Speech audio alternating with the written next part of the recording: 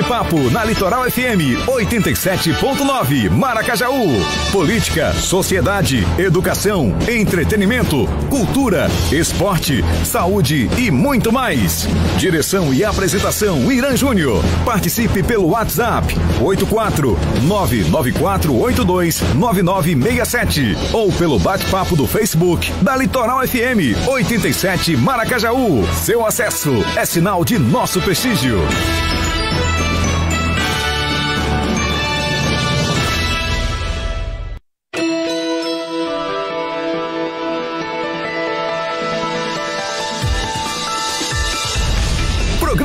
Bate-Papo na Litoral FM 87.9 Maracajaú. Um oferecimento. Jornal O Litoral, o jornal que informa e opina. Acesse nosso site www.jornalolitoral.com e fique por dentro das notícias com credibilidade. Blog do Irã Costa. Crie comunicação e eventos. JR Artes Gráficas. Faça sua arte com o melhor da região. Ligue para 99482 9967. Mesa posta por Estela Souza. Torne momentos simples ao redor da mesa para que gerem memórias afetivas. Ligue para 99115 3418. E Aquimar, Associação Comunitária e Cultural de Maracajaú.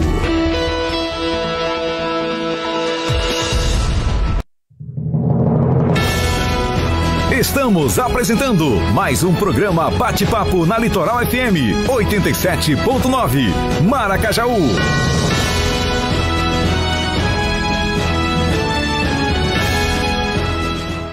Em Ceará-Mirim, em toda a região aqui do Mato Grande, são exatamente 19 horas e 4 minutos. A gente já quer mandar um abraço a todos os nossos web ouvintes que já estão ligadinhos aí na Rádio 87 FM, ponto 9 Maracajaú. Já dei uma olhada aqui, tá tudo ok. Quero mandar um abraço já para o meu pai, jornalista Irã Costa. Boa noite, bom programa. Abraço em Felipe, já estou dando aqui a ele, tá certo, ao vivo. Batista Lima, um abraço, Batista, rapaz, vai quando a Maracajaú. Grande Batista, um abraço para você, meu amigo. Um abraço para o meu amigo Jackson, diretor técnico aí da Litoral FM, onde a gente já manda um abraço para você, para o nosso vice-presidente Biel, a Jonathan e a todos aí da Princesa do Litoral. Eu não posso esquecer do nosso entregador oficial, Marigildo. Valeu, Marigildo. A gente não pode esquecer esses nomes, não, senão é complicado. Mas hoje, programa Bate-Papo Litoral, 87 FM Maracajaú, TV Web Litoral. Estamos recebendo meu amigo Luiz Felipe. A gente já vai colocar ele aqui na tela aqui com a gente aqui, já está com a gente aqui, tá certo? É um grande prazer. O Enderson Silva, grande Irã. Um abraço, Enderson. Um abraço para você, um abraço a todos. Abraço a Luiz Felipe. Batista Lima tá mandando aí, ó. É, já já ele vai dar o alô aqui.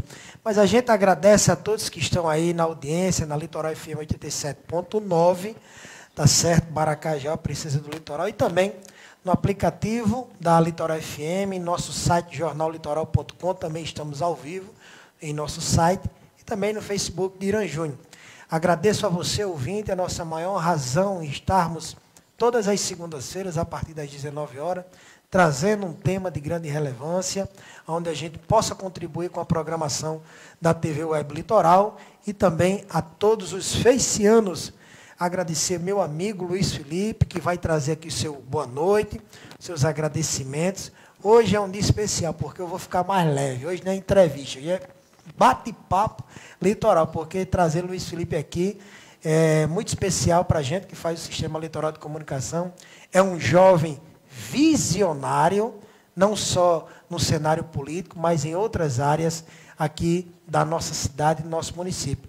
Felipe, antes de mais nada, quero agradecer a sua presença aqui. Quero deixar os meus cumprimentos iniciais a você, a seu pai, sua família, a todos da sua família, onde nós temos um carinho muito grande. O seu boa noite inicial aos nossos ouvintes do programa Bate-Papo Litoral. Irã, boa noite. Eu queria agradecer mais uma vez pela oportunidade, a gente estar tá podendo vir aqui, né, parabenizar pela estrutura, está né, tá tudo muito bonito, muito bem trabalhado, como sempre. Né, e realmente aquilo que você disse, a gente vai bater um papo né, entre amigos. Queria já mandar um abraço para o meu pai, né? Que está acompanhando, né? Seu Luiz da Luz, Luiz do Ponto Quente, para alguns que conhecem assim, né? Para minha mãe, Marta, mandar um abraço também. E para o nosso amigo Batista, né? Que Batista, é. Irã, Batista é um ícone, né? Batista é da família também. Mas é isso, pessoal. Mais uma vez aqui, agradecer a Irã, a Irã Costa, seu pai também, que eu tenho muito carinho, muito apreço por ele também. E dizer que sempre que precisar, para bater esse papo com você, a gente está disponível. Claro, com certeza. E hoje a gente está trazendo um tema né, que é não só a questão da juventude idade, é a juventude aquelas pessoas que participam ativamente e efetivamente da política, né, na sua região, seja também opinando. E a questão da juventude, o poder de decisão nas eleições, e hoje a gente vai abrir um leque, é o poder na política, né? o desenvolvimento da política, onde Felipe vai dizer agora aos nossos ouvintes. A gente sempre traz aqui, Felipe, né, antes de mais nada, é dizer um pouco quem é o nosso entrevistado. Onde a gente já disse que você é um graduando na gestão pública, né? E você vai dizer que os nossos web ouvintes aqui, quem é Luiz Felipe, né? Ah, isso é uma, eu acredito que é uma tarefa muitas vezes fácil, ao mesmo tempo difícil, porque a gente se autoavaliar não é fácil, né? Mas vou contar, tentar contar um pouco de quem é Luiz Felipe. É, Luiz Felipe é um jovem de 25 anos, é, graduando em Gestão de Políticas Públicas na Universidade Federal do Rio Grande do Norte. Fui aluno de administração pelo IFRN também, qual me orgulho bastante de ter, de ter passado por essas duas instituições. É, sou, Irã, é, apaixonado por política de uma forma geral, não só política partidária, mas a política como social, como objeto transformador. Isso para mim é muito importante. O empreendedor político é, em mim é, é, algo que é natural, então eu fico muito, muito motivado a participar. Né? Então, Luiz Felipe adora, gosta muito de política como um todo. É um cara muito família, eu sou uma pessoa que adoro estar com minha família, na minha casa, com meus amigos.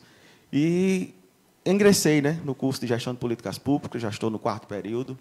É, Atrevo-me a dizer que me encontrei, né, que eu acho que é, é muito importante Importa. a gente ter essa realização profissional.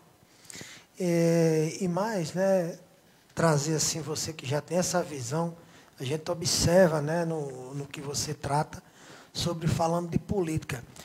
Mas um dos primeiros questionamentos né, nesse, nesse, nesse nosso bate-papo, eu gostaria de saber de você a questão da participação do jovem, mas aquela participação onde o jovem ele tem a liberdade em expressar né, as suas opiniões, não só no pleito, porque às vezes a gente pensa, né, Felipe, que a política é só aquele período eleitoral, mas não é. Foca, na, foca nas eleições, né? Irã? Foca só nas eleições, mas eu gostaria de saber de você como é que você observa essa participação dos jovens, que já vem há muito tempo, já, já a gente vai trazer cinco, cinco fatos históricos aqui sobre a, alguns movimentos é, da juventude né, no, no Brasil.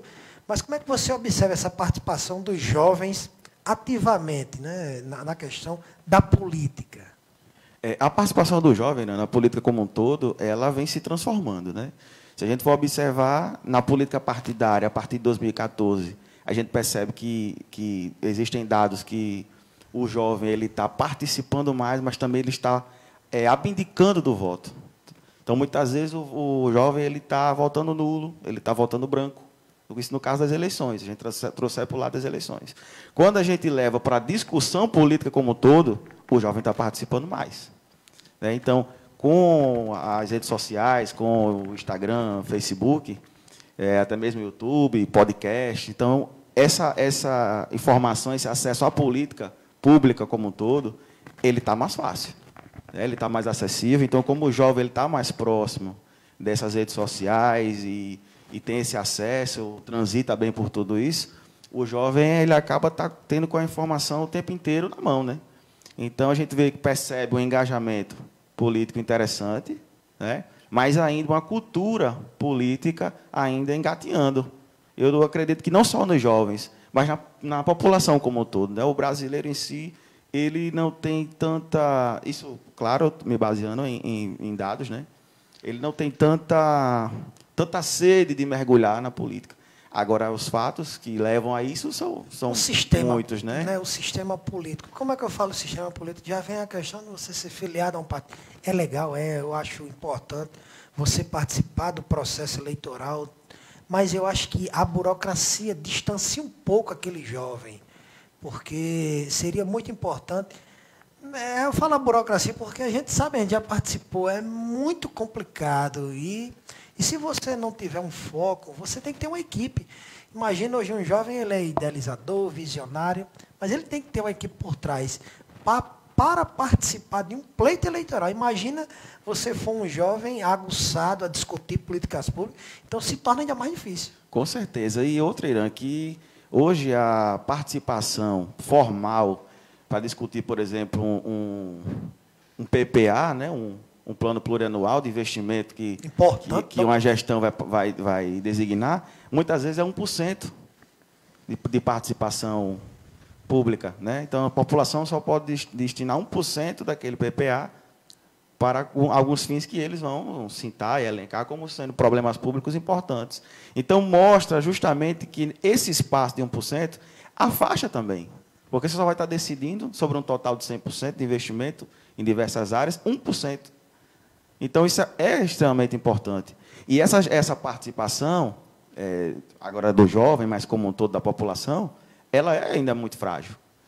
Muitas vezes a população ela acaba delegando a esses atores políticos, sejam eles vereadores, sejam eles secretários, até mesmo prefeito, né, na administração direta e indireta, e acaba entregando essa responsabilidade. Muitas vezes não alcança o objetivo em que ele achou, idealizou, mas também ele não verbalizou não foi para a rua, não foi para audi uma audiência pública manifestar esse seu desejo, esse pleito. E aquele problema público não entra na agenda. Não entra na agenda do município, não entra na agenda do Estado, ou até mesmo na agenda federal. E você fica sem sentir, é, muitas vezes, sem ser contemplado. E você coloca a culpa naquele ator político que não fez aquilo que você imaginou que ele fizesse. Então, esse é um papel em que nós só vamos é, conseguir transitar melhor quando a população realmente é, acabar tendo essa ideia de cultura política com gestão e com participação. Aí a gente vai poder realmente discutir melhor problemas públicos, agenda municipal e por aí vai. E um dos fatos bem interessantes, além da participação dos jovens, é a concorrência dele ao cargo eletivo. Né? Então, eu gostaria do seu ponto de vista, como é que você se identifica ainda mais com a área da saúde, área social, mas quando você se torna um concorrente ao cargo eletivo, para você abraçar uma bandeira dessa, você vê que a visão ela é, tem que ser ampla. É uma visão macro, já não é aquela visão né, pequena. Né? E a gente observa que se o jovem ele se dedicar, estudar, batalhar e principalmente defender os seus propósitos, é de suma importância. Eu gostaria da opinião sua. Naquele período de concorrência a um cargo eletivo, você acha que o jovem ele tem aquela determinação do que ele tem, do seu propósito? É, boa pergunta, Irã. Pergunta muito boa, né? muito bem elaborada. O jovem, ele pode até ter né?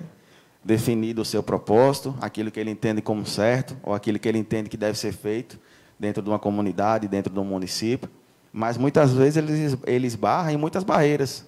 Né? Para disputar um cargo eletivo, por exemplo, você precisa ter legenda, para que esse partido lhe dê legenda para participar. E muitas vezes a gente percebe que isso não acontece.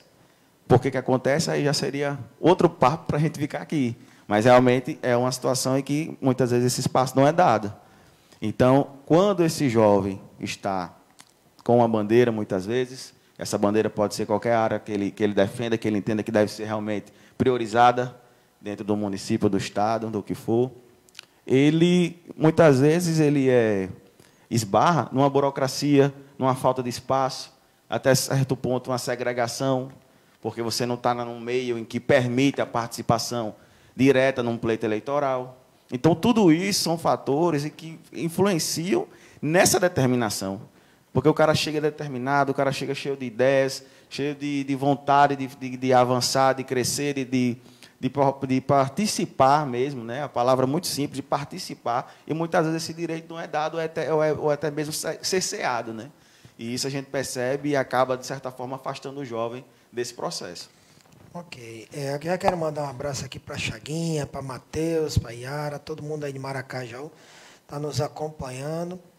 E Irã diz o seguinte, Batista, próxima sexta-feira, lhe atendendo, entrevista será com Barbosa. Ei, eu vou dizer uma coisa a você, sexta-feira vai ficar como outros momentos que todas as quartas aqui. Eu sempre digo a, a, alguns amigos meus que eu sou um privilegiado de estar ali atrás daquela, daquele monitor, todas as quartas-feiras, recebendo o ex-vereador, historiador, acadêmico da ACLA, Franklin Marinho de Barbosa de Queiroz, aqui nesse estúdio aqui. Então, ele está dando aula, ele não está nem entrevistando, né, sendo entrevistado pelo jornalista Irã Costa, onde todas as quartas ele traz Franklin aqui. E Franklin só precisa de uma palavra e ele tem uma hora aqui, é pouco para ele. E sexta-feira agora, a gente vai ter aqui na TV Web Litoral, no programa Comunidade no Rádio, com o jornalista Irã Costa, a presença do ex-vereador é, Manuel Barbosa, né? pai de Lujan, né? das meninas ali de. É, Irã, é, desculpe lhe interromper, Não. mas você falou de, de, de seu Franklin, né? E também de, de seu Manuel Barbosa. É, eu, como sempre fui, gostei muito da política, de viver a política, né? O meu pai também, então acabei, de certa forma, enveredando né? a veia FEV, né? Mas eu sempre acompanhei Franklin, é, seu Manuel Barbosa, com as, com as opiniões fortes dele, né, muito embasada, né, então todos dois, né, é, Franklin muito conhecedor do nosso município, da história do nosso município, da cultura do nosso município, então ter essas duas pessoas, né, esses dois ícones ainda vivos, podendo compartilhar essas experiências é algo realmente Seu Manuel Barbosa, 99 anos. Então, meu pai já me confidenciou que ele ficou muito feliz. Eu imagino que ele vai deixar aqui registrado. Então, ficando gravado um programa desse, né? Seu Manel só tem a contribuir. E eu tenho certeza que ele ainda vai contribuir ainda mais. Com certeza. Seu Manel tem um, uma riqueza né, de, de, vivência muito grande dentro do nosso município, assim como o Franklin também, né? A Irã está dizendo que é 94 anos. Já, já aumentei mais seis anos. Rapaz. É, tá bom aí, viu? 94 para 99. Mas tomara que ele. Você já está sendo visionário do. Isso na idade dele.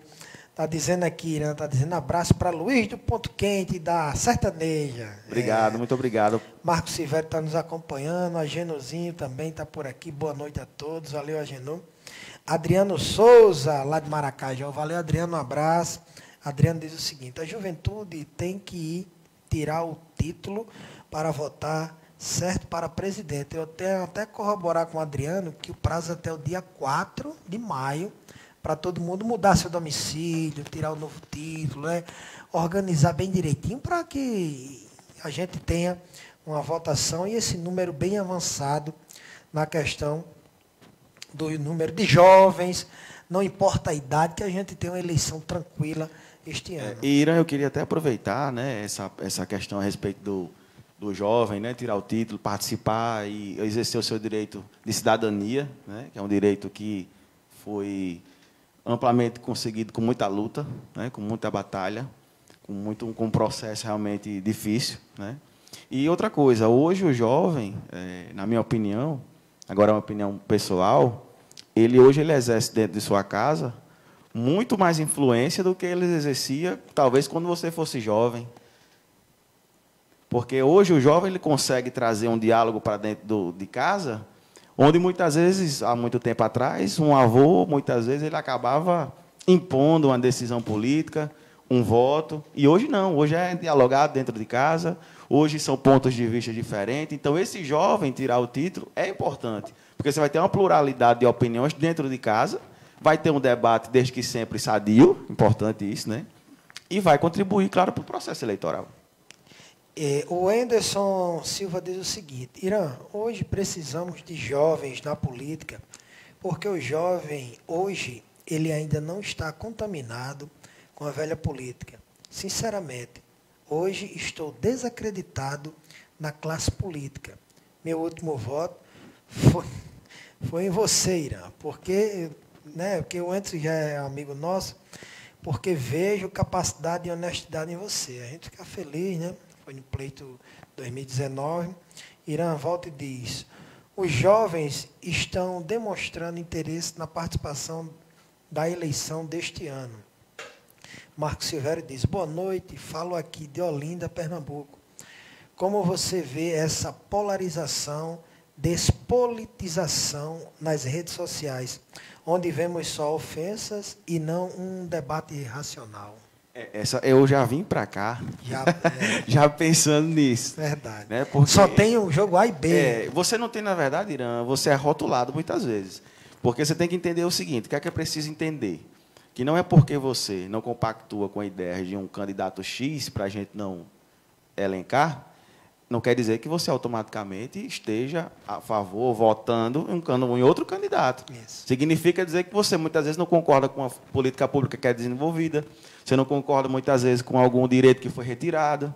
Então é importante a gente compreender que essa polarização ela existe, porque ela foi criada, ela foi automaticamente acontecendo, e essa divisão hoje ela exige que você seja muitas vezes taxado ou de direita ou de esquerda. Se você é muitas vezes apontado como de centro, você é tido como omisso nessa decisão.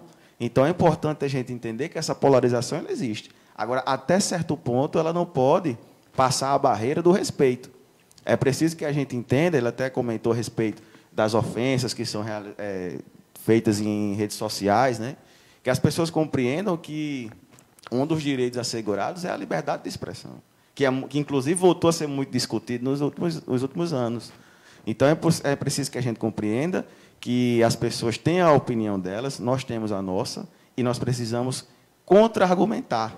E às vezes as pessoas confundem liberdade de expressão com ofensa. Exatamente, que aí é um ponto realmente, Irã, você foi muito feliz, que a gente não pode confundir. A gente tem que manter sempre o respeito, entender a pluralidade de ideias, expor as nossas ideias e não desrespeitar a ideia do nosso amigo, aquele que ele entende como certo, porque a gente está tratando muitas vezes de ideologia, estamos tratando de você ser um pouco mais alinhado ao conservadorismo, um outro amigo seu já é mais para a parte liberal, e está tudo bem.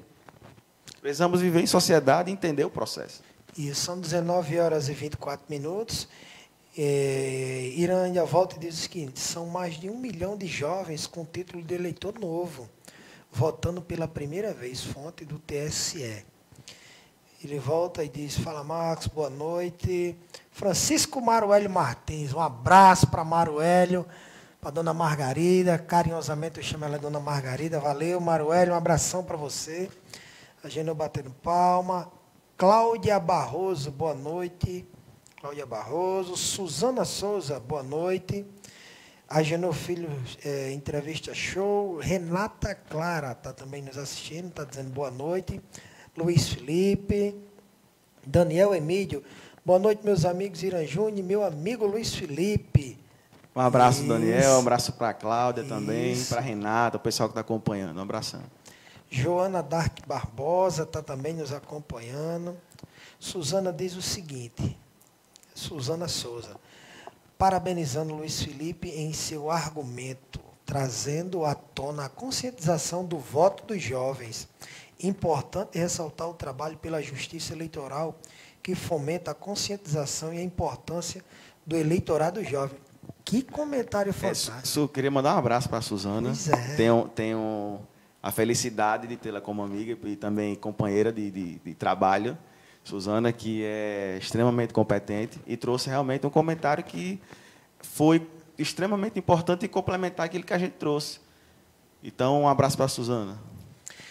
Ok, Clara está dando as palminhas, a gente também manda para ela as palmas. aí.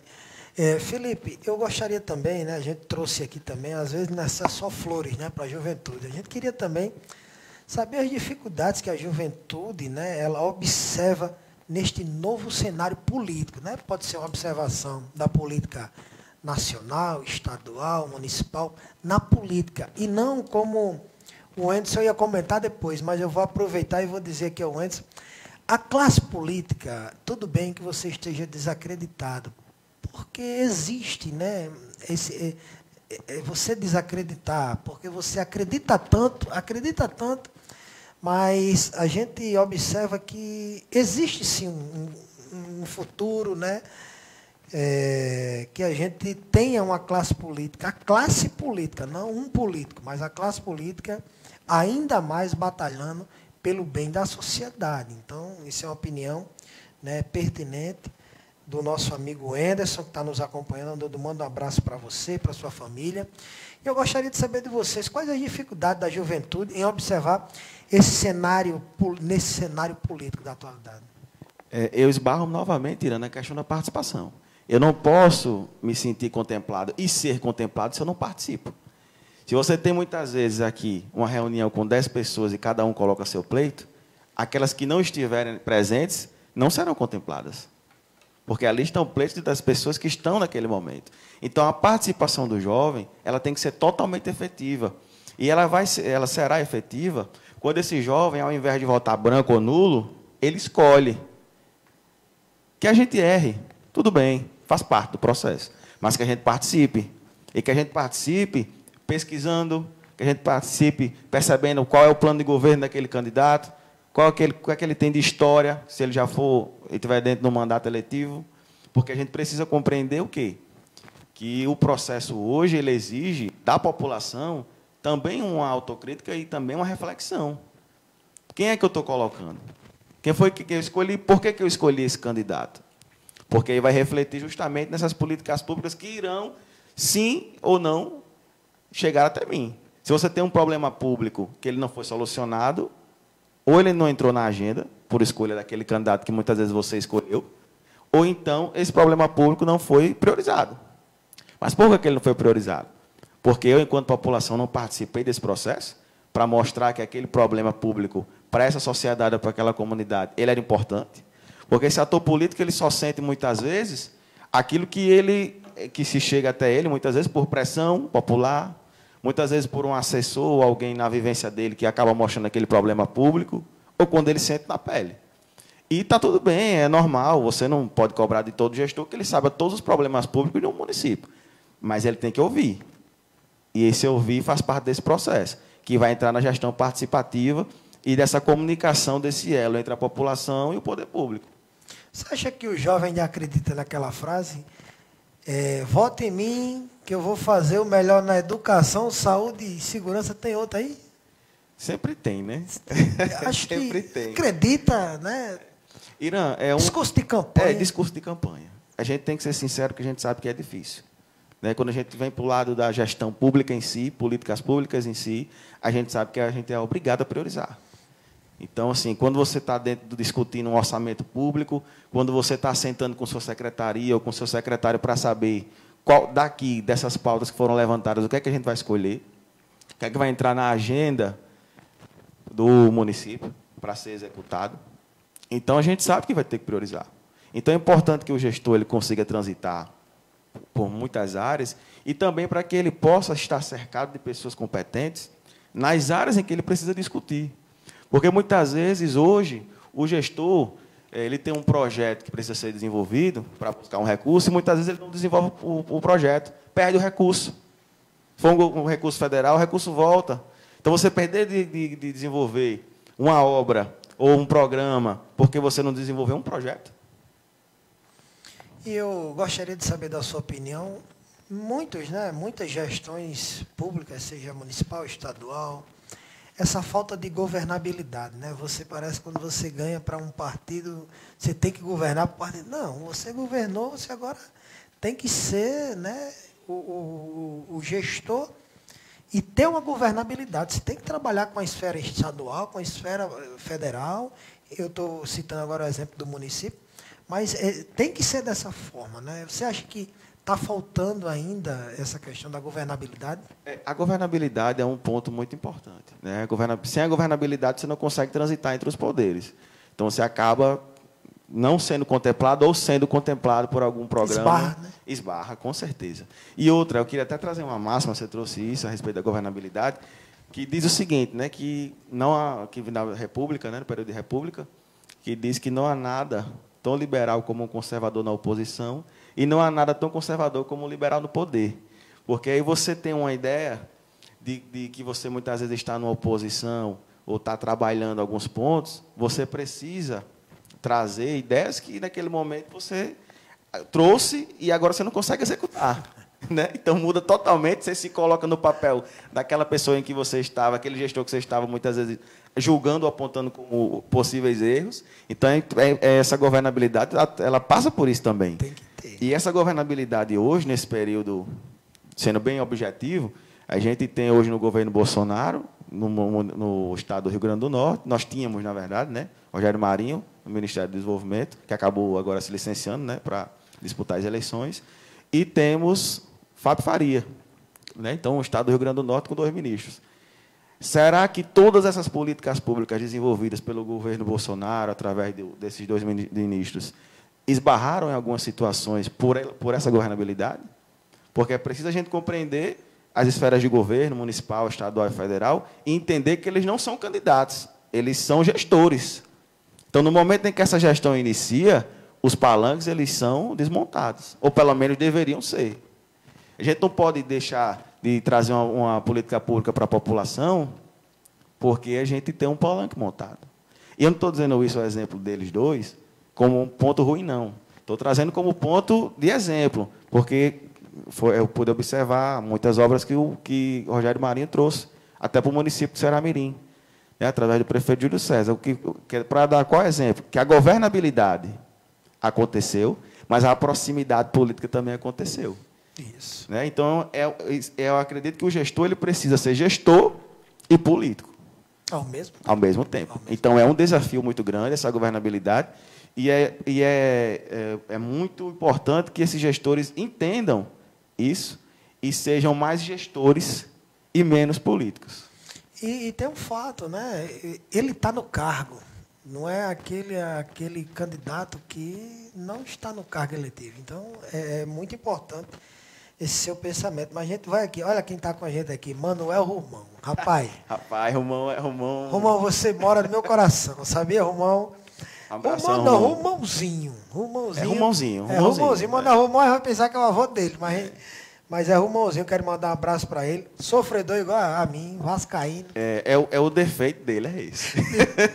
é, mas é isso mesmo. Mandar um abraço para Damião Santos. Um abraço, Damião. Todas as quartas, Damião está fazendo um programa aqui. O Ceará Mirim que Incansável, Damião. Incansável, Damião. Está fazendo um trabalho espetacular ali no próximo ao campo, sem mais, né? Sem, sem mais, né?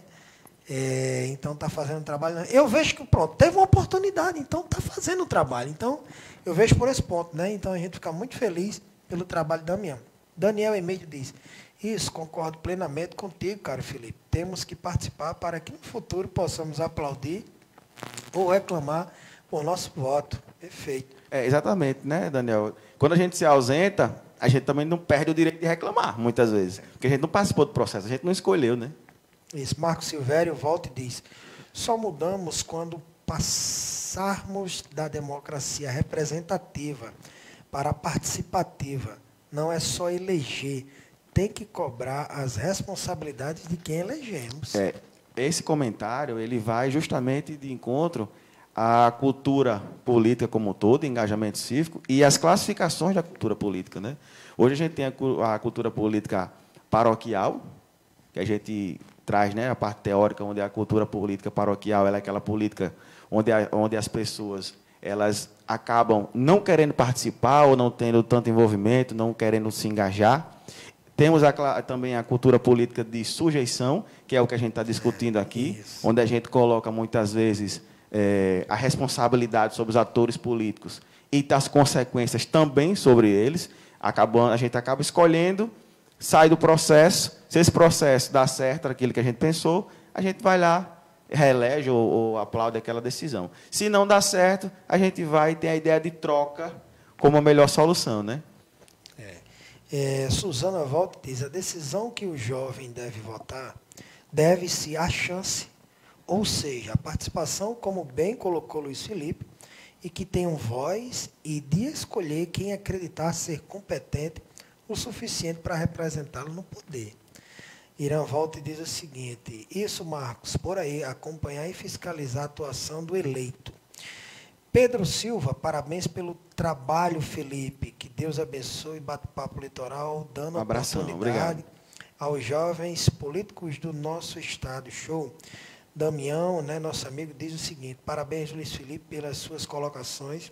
Afinal, os jovens sempre tiveram um papel fundamental em todas as eleições e nessa com certeza terá fará a diferença e vamos instruir esses eleitores a fazer uma busca na vida pregressa desses políticos. Afinal, desse time que está aí hoje nessa disputa, poucos merecem o nosso voto. Semai, olha aí, Damião está aí. Damião está fazendo um trabalho fantástico, porque Damião, ele não é só servidor daquela, daquele setor, não. Ele pinta, ele limpa, ele vai, ele não tem esse negócio com o Damião, não. Valeu, Damião. Ele diz o seguinte: perfeito, meu amigo, essa sua colocação. Parabéns com o nosso querido amigo Marco Silvério. Breno Sérgio também está por aqui. Isso mesmo, Damião. Damião volta e diz o seguinte: a nossa cidade já tem potencial de sobra para eleger um deputado estadual e um federal. Porque nomes bons temos de sobra. O que não podemos é continuar dando votos a quem não tem responsabilidade nem respeito por nós e pelos nossos jovens. Essa é a opinião do nosso amigo Damião.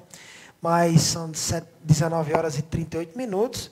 A gente gostaria também de saber se, se o, o peso do voto do jovem ele, ele tem, assim como foi dito aqui nos comentários, tem um peso maior na eleição? Irã, eu nem gosto de, de falar assim, para a gente não colocar essa pressão em cima dos jovens. Dos jovens, né? Porque, assim, muitos são de primeiro voto. Aí já está. É, então, quando a gente coloca, a gente acaba é. colocando uma certa pressão. E eu acredito que é determinante, sim. É um voto extremamente determinante, importante para o processo, porque o jovem ele traz uma reflexão familiar, ele traz uma bagagem que ele tem a cultura política de pesquisar, de buscar nas redes sociais, de saber muitas vezes se aquilo é um, um fake news ou não, porque ele está ali no dia a dia, ele tem mais esse hábito. Né? Mas, assim, é importante, mas que não seja uma pressão para o jovem. Né? É importante que ele participe do processo, que é determinante, sim, o, o voto do jovem, que ele é um voto diferente, eu considero um voto diferente. Eu acho que o voto, hoje o voto do jovem é um pouco mais crítico. Ele é, um, ele é um voto onde o jovem ele pesquisa um pouco mais sobre o candidato, sobre uma proposta. Às vezes é algo que chama a atenção daquele candidato, uma proposta, um ponto, uma bandeira que ele defende, aquele jovem acaba abraçando. Então, é um voto diferente, determinar, determinante para o processo, mas que não seja uma pressão para o jovem, né? que ele entenda que ele é importante, que ele vai decidir, sim, mas que ele, ele escolha com tranquilidade e que ele tenha essa autonomia para escolher. Por onde você anda por aí, você observa algum jovem com expectativa de mudança no cenário da política, ele está indignado, ele quer participar. Você observa isso? É, ele quer participar, certo? Até certo ponto ele quer participar, porque no momento em que ele critica, ele participa. Então já é um ponto importante, né? Que ele participe, primeiro ponto. E sim, a gente percebe que o jovem ele tem hoje uma descrença no, no sistema político, para não dizer os políticos, no sistema político como um todo, que essa descrença pode ter sido por várias escolhas erradas, por é, algumas coisas que aconteceram no nosso sistema que mostraram muitas vezes erros ou, ou, cometidos por políticos, e ele acaba entendendo que a política é aquilo, e é preciso que a gente desvincule a política dos políticos, porque a política, o que é, que é a política? A, a política pode ser é, um programa que é desenvolvido para uma comunidade, pode ser um problema público que é solucionado, tudo isso é política. Isso que a gente está fazendo aqui é política, a política do diálogo, da gente conversar, da gente escutar. Então, é preciso que o jovem desvincule a política dos políticos e ele entenda que a política que a gente está muitas vezes conversando aqui, ela transita pela política partidária, mas que ela não é a política partidária. Ela é a política no processo de dialética, de reflexão, de você entender que é, é preciso ter uma gestão, um diálogo, se debruçar sobre pautas importantes, sobre problemas importantes. Então, quando o jovem compreender isso, que ele já está compreendendo, claro, esse processo, isso a gente vai conseguir refletir na urna. Que eu acredito que a gente já vem tendo alguns sinais sobre isso. Eu gostaria também, são 19 horas e 41 minutos. Tem uma pergunta aqui de Damião que vai ser feita já já, Luiz Felipe, mas a gente observava anteriormente os movimentos estudantis muito ativos. Tudo bem, três anos de pandemia, mas mesmo assim, antes da pandemia, você acha que os movimentos estudantis foram enfraquecidos? Aparentemente, sim. Né? Nós não sabemos se esses movimentos eles migraram para as redes sociais, pela questão da pandemia, mas é notório que esses movimentos deram enfraquecida, sim. O que é que eu acredito que como esses movimentos políticos muitas vezes estão ligados a instituições, como a Universidade Federal, a Universidade Estadual, por elas estarem à distância, pode ter refletido nesse processo também. E também hoje a gente tem que compreender que o jovem ele pode também ter sido desmotivado a participar desse processo, desmotivado a pleitear um, um, através de um protesto algum direito por exemplo, a gente viu, é, pelo menos eu vi há, há, pouco tempo, o movimento que houve em Natal, né, a respeito da, do processo das licitações dos ônibus, e os jovens participaram. Mas a gente sabe que não foi fácil aquele, aquele, aquele protesto acontecer. Então, assim, está sendo difícil essa reorganização dos jovens, participar. Sou a favor de que proteste, desde que não tire o direito do outro, desde que não haja com violência, desde que o espaço ou daquele ator político, ou do, de quem for, seja respeitado, é importante. Mas é importante também que o, que o jovem ele proteste, que ele se manifeste, que ele coloque sua opinião, porque a opinião pública é importante e o jovem que vai ser justamente aqueles que irão a muitas mãos construir o futuro do nosso município, do nosso estado, no país. E é onde a gente observa sempre, nas caminhadas, né, que a gente tem um exemplo, tem até na internet um vídeo muito engraçado, quando um político, né, ele chega na casa de um cidadão e diz, sai daqui, não quero ver nenhum tipo de político. Olha, você receba. Sabe por quê? Porque esse agente político, ele vai, olha, esse aqui já não quer ser político, então vamos para outra casa. Ele se satisfaz com, com, essa insatisfação do cidadão. Então, receba ele na sua casa, converse com ele, bota ele sentado, veja as propostas dele. Se ele couber bem no seu pensamento, vote nele. Mas quando ele ganhar, cobre dele. Participe. Participe. Não participe só do processo eleitoral. Participe também do governo, da governabilidade, das discussões que vão ser tratadas, de um PPA, de uma votação de um orçamento, porque aí sim você vai estar participando politicamente como um todo, enquanto cidadão, não só do processo eleitoral. Isso aí, Damião traz uma pergunta aqui que eu ia fazer já já, mas vou fazer logo agora, viu, Damião? Porque Felipe já está nesse gás. Ele diz o seguinte: Luiz Felipe, você não toparia sair candidato a deputado estadual pelo PSB? é porque a risada foi combinada, eu acho. Né? Mas não foi, não, viu? Mas... Não, é, ó, Damião, eu, eu fico muito lisonjeado de você chegar até mesmo a, a cogitar né, uma possibilidade dessa. Eu acredito que é um desafio muito grande, é um desafio em que a gente precisa realmente se preparar para disputar, é a nível de Estado, é algo muito abrangente. E eu acredito que hoje, nos dias atuais, eu não estou ainda apto a disputar uma eleição para deputado estadual, embora fosse para mim muito honrado participar, mas acredito que hoje, no momento, se me fosse feito esse convite, eu recusaria. Isso. São 19 horas e 45 minutos. Tem um detalhe que eu gostaria que você trouxesse numa visão, uma observação sua, é de quando você levanta a bandeira do jovem, da juventude, quando você ganha né, um pleito, você é eleito com aquela bandeira da juventude, no seu primeiro ato como representante da juventude, você não observa aquele amor pela juventude, aquela bandeira. Como é que você se sente eleitor? É, é a questão da representatividade. A gente vai esbarrar na questão da representatividade, que é justamente aquilo que eu trouxe também da questão do liberal e do conservador.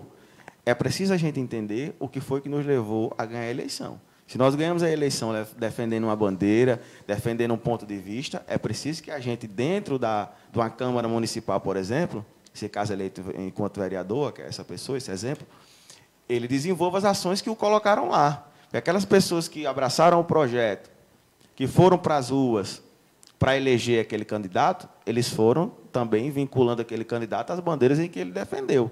No momento em que ele ganha as eleições, assume o mandato enquanto vereador e esquece todo aquele processo, esquece tudo aquilo que ele, junto com aquelas pessoas, construiu, aí você vai estar justamente deixando de ser o representante daquelas pessoas. E automaticamente, todas aquelas pessoas que depositaram essa confiança nesse determinado candidato, a lógica é que essas pessoas não confiem mais, que é o que geralmente a gente consegue observar.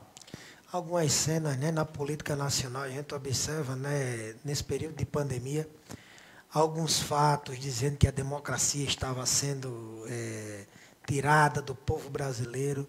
Mas você acha que essa eleição a nível nacional vai trazer um pensamento muito aflorado da juventude em dizer: não, eu não compartilho fake news, eu não quero isso.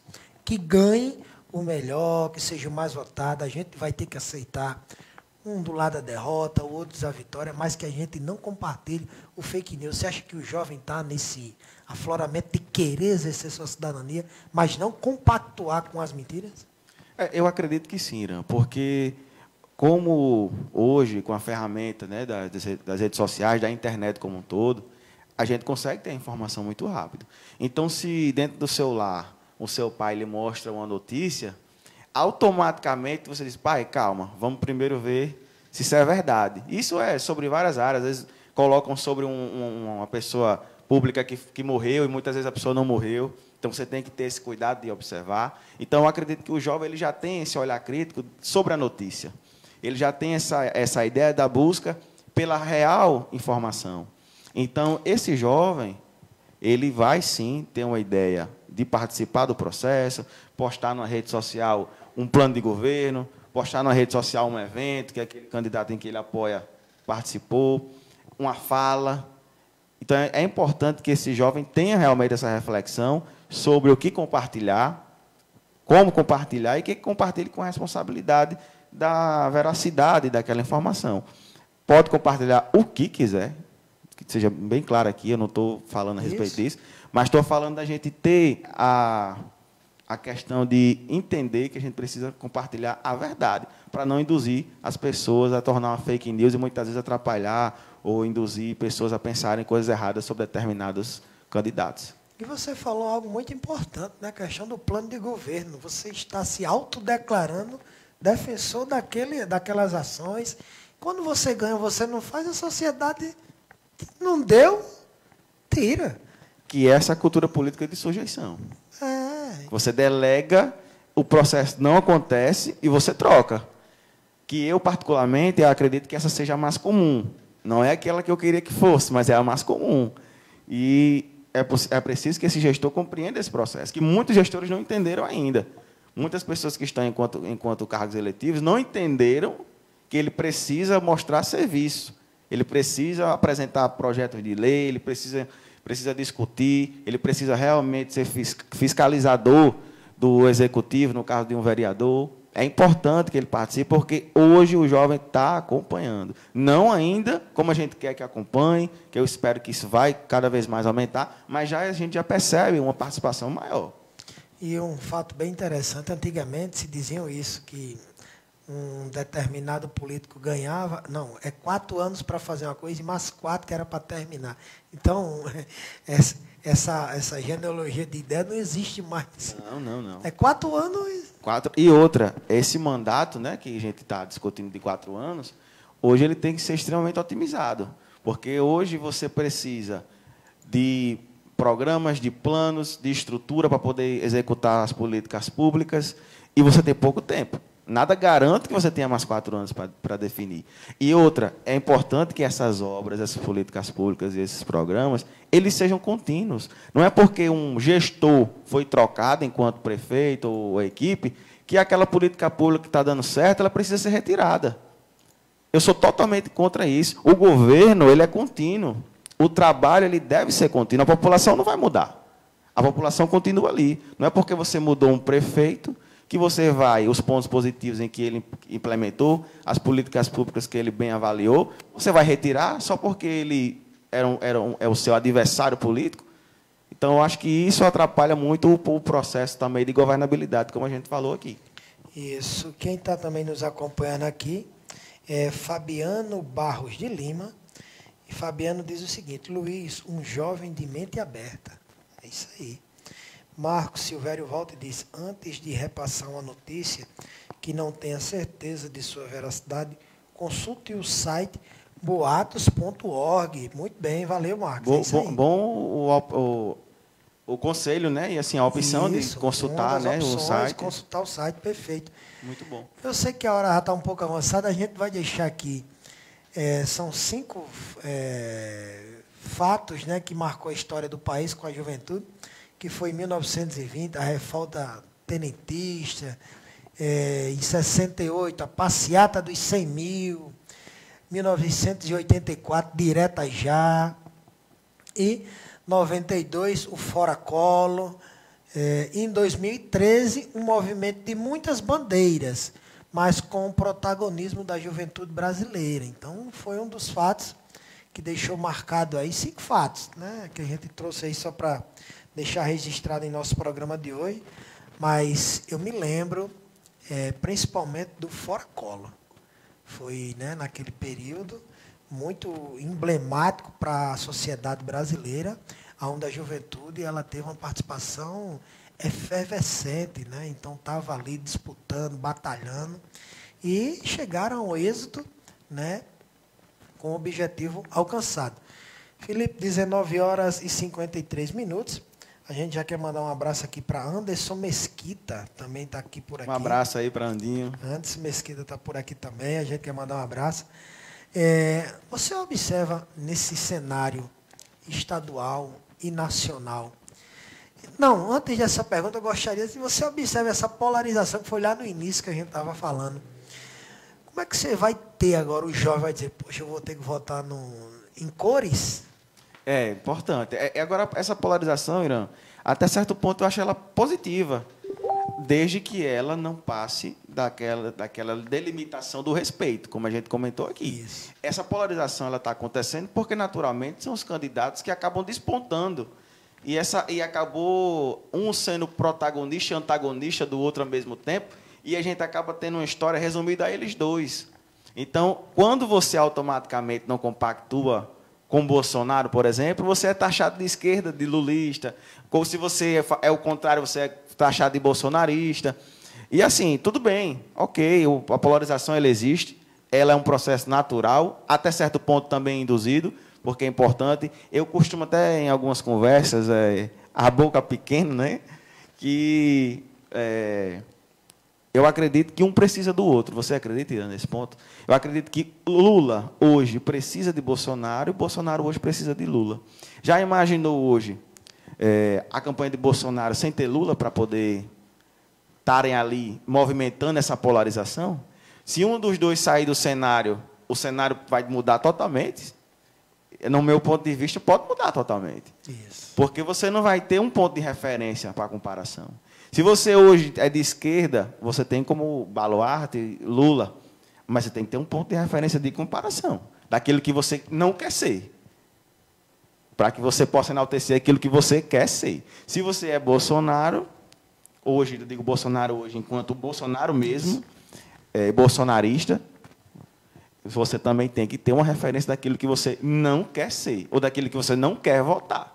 Então, hoje, na minha opinião, os dois precisam deles. E, e, e se a gente souber realmente extrair os pontos importantes, ou, ou até certo ponto é, necessários dessa, dessa polarização, nós podemos construir um plano de governo fantástico. Agora, será que essa governabilidade vai deixar de fora os palanques pós-eleição? Então, assim, é, é uma questão importante, é uma questão delicada, mas é importante, sensível, mas importante. Por quê? Porque você vai ter senadores de esquerda que serão eleitos, você vai, vamos ter, nós vamos ter senadores de direita que serão eleitos, de centro que serão eleitos, e um gestor, um presidente, ele precisa, tanto da Câmara Federal como do Senado. E ele vai precisar transitar sobre toda essa polarização.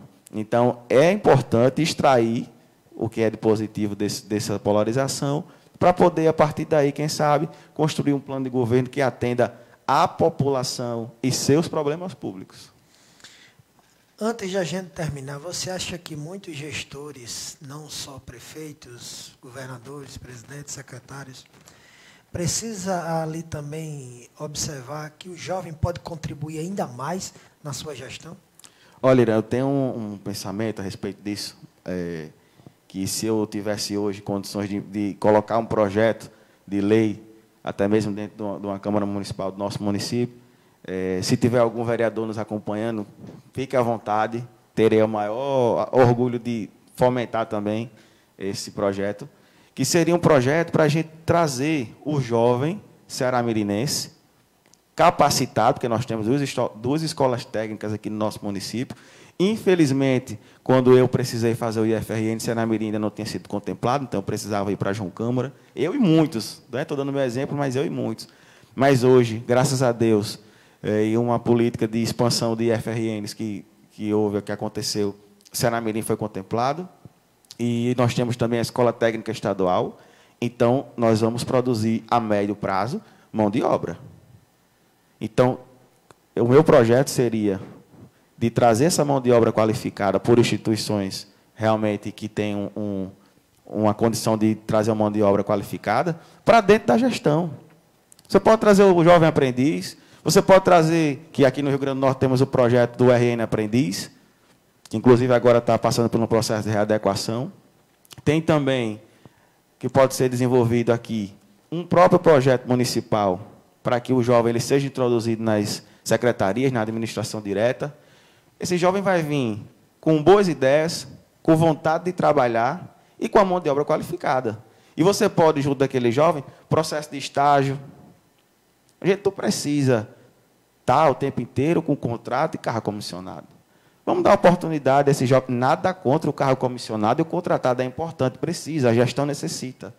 Mas vamos dar essa oportunidade, vamos colocar um projeto de lei Vamos fazer uma parceria com o IFRN, se é que já não existe, com a Escola Técnica Estadual. Vamos trazer esse jovem de Ceará-Mirim e, região circunvizinhas para dentro dessa gestão, para dentro da gestão desses municípios que, que eles residem muitas vezes. A gente tem muitos municípios aqui ao redor que necessitam e seriam, com certeza, transformador na vida do jovem, na família desse jovem, de outros jovens e também da gestão do município em que eles possam ser inseridos. E lá na frente esse bate-papo, transformação social na vida muito do bom, jovem. Muito bom, muito bom. A gente vai marcar sim, com certeza. Suzana volta e diz o seguinte: parabéns pelo conteúdo da entrevista, que foi bem conduzida por Irã, e pela explanação sobre o assunto em pauta. Muito obrigado aos dois. Nada, a gente aqui Muito agradece, obrigado, Suzana. Né? A gente agradece a, a, a disponibilidade de acompanhar né, o bate-papo. Claro. A gente, Felipe, fica muito grato, tá certo? Quando a conversa é boa, o tempo passa rápido. Mas tenha certeza que esse tempo não vai ser mais de ano, não. Vai, vai ser mais curto.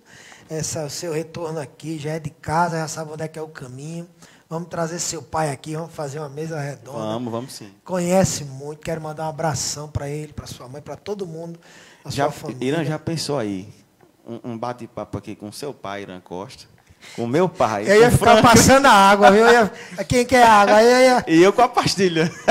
Porque não ia ter como é, contribuir nesse diálogo, não. É, fica, é muito interessante. Mas seria interessante isso. Pelo menos seria, seria interessante. Nós queria água natural ou gelada. Pelo menos é o que restaria era opção, nós era, é verdade. Mas a gente quer mandar um abraço para dois, são referências, por isso que a gente sim, sim, sim. fica muito feliz com esses comentários. Mas eu deixo com você, Felipe, os nossos agradecimentos de coração aonde as portas estarão sempre abertas para o nosso programa Bate-Papo e outros programas que estão a surgir. Os nossos agradecimentos, suas considerações finais. É, eu queria agradecer, Irã, a você, a TV Web Litoral, a Litoral FM, pela oportunidade de mais uma vez estar aqui para a gente conversar pautas que são extremamente importantes para, para, para o momento atual, para aquilo que a gente vem vivendo, para o futuro também. Então, você abrir essa porta aqui para um jovem de 25 anos, vir estar tá aqui expondo o que ele pensa, aquilo que ele entende que, que pode ser transformador, isso para mim é muito importante. Então, lhe agradeço mais uma vez, sou muito grato por sua amizade também. Aqui a gente já saindo da parte né, de você enquanto profissional, que é só elogios, mas também enquanto amigo. Queria deixar também aqui um abraço para todos que nos acompanharam. É, o pessoal realmente participou bastante. Para a gente que está aqui conversando, dialogando, é muito importante esse feedback do pessoal. É, agradecer a todos os familiares que acompanharam, os nossos amigos. Né, deixar aqui já um abraço para o seu pai, Iran Costa, ah. né, que também é um amigo da nossa família. E dizer que sempre que convidado, aqui estarei. É, sobre qualquer tema, sobre aquilo que eu puder contribuir, estarei sempre aqui. Né? Então, muito obrigado mais uma vez. Quero agradecer a você e a todos que nos acompanharam. A gente é que fica muito feliz com sua participação. Paula Fagundes entrou aqui também, um abraço a Paula. Para encerrar, Cláudia Barroso diz o seguinte: esse rapaz conhece muito de política. Que coisa maravilhosa, inteligente e comprometida. Assina embaixo o que você está dizendo, Cláudia. Beijão. Isso. Então, são 20 horas e um minutos, a gente fica por aqui. Objetivo alcançado, a gente chega aqui, coloca né, um tema para a turma acompanhar. Objetivo alcançado, a gente fica muito feliz em poder contribuir com a programação da TV Web Litoral, que em breve teremos aí mais um programa aqui do nosso amigo Endel Germano, onde a gente deixa aqui as portas abertas para a turma vir fazer o seu programa, onde eu sempre prezo com que o jornalista Irã Costa, meu pai, idealizador desse projeto, fundador do Sistema Litoral de Comunicação, Jornal Litoral, preza pela notícia com credibilidade. É isso que a gente tem aqui, onde chegamos à marca de 138 mil visualizações em nosso site. Em um ano e quatro meses, a gente também fica muito feliz por esse fato. E de segunda a sexta-feira, das 11 ao meio-dia, programa Comunidade no Rádio. Nas quartas-feiras, o Ceará Mirim que eu quero, com Damião Santos, a partir das 19 horas. E nos sábados, com Elusiete, Mulheres em Ação. Temos aqui das 8 às 9 horas. E à tarde, das 16 às 17 horas, Momento Jurídico, com a doutora Érica Gouveia. E também às segundas-feiras, é, o programa A Voz na Comunidade com o Enio, lá na Litoral FM, onde a gente manda um abraço para todos. Tenham todos uma ótima noite. Felipe, tem mais alguma coisa? Não, só desejar realmente uma boa noite, reiterar nessa é... boa noite. Tenham todos uma semana muito abençoada. Fiquem com Deus. Até a próxima semana, se Deus quiser. E em breve aqui uma ótima convidada também em nosso programa Batuá Litoral. E ela é de casa, tá certo? Já é conhecida da nossa família e que Deus possa abençoar a vida de todos. Até próxima segunda-feira com mais um programa Bate-Papo Litoral.